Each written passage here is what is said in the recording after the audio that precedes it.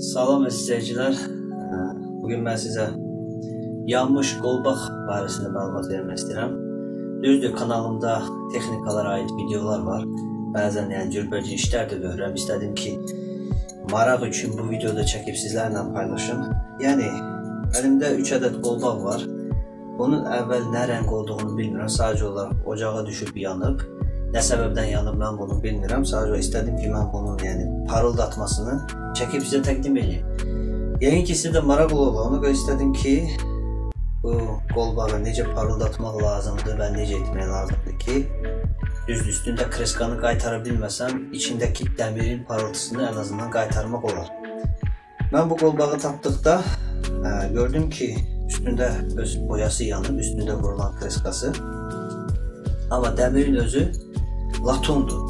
Yəni latun olduğuna görə əlbəttə ki, bunu mən parıldatsam, bu pas bağlamayacaq. Ona görə istədim ki, hə, bu latun olduğuna görə mən bunu yəni parıldatım, gözəlliyi verim və sizə təqdim edeyim.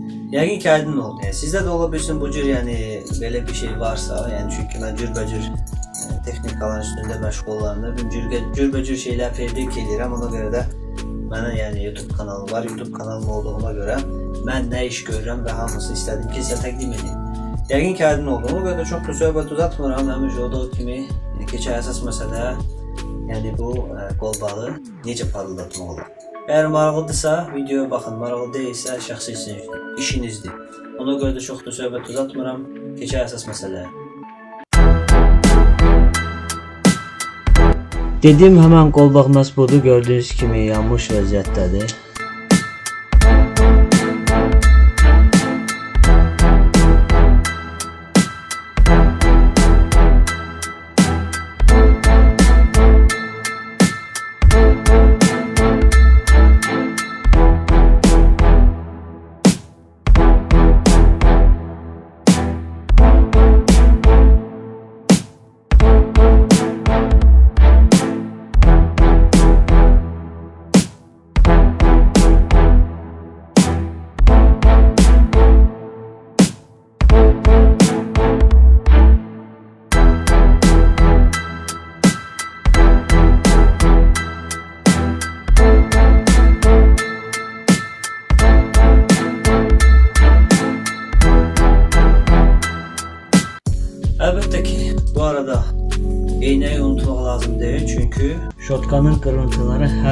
sizin gözünüze batabilir.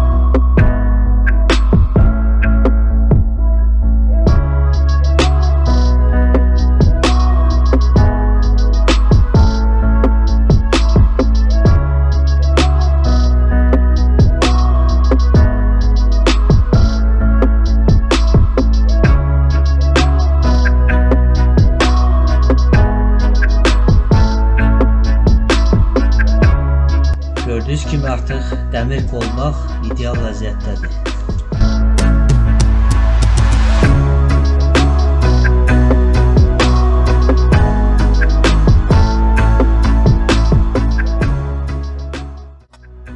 Belə əziz izləyicilər, yəqin ki aydın oldu.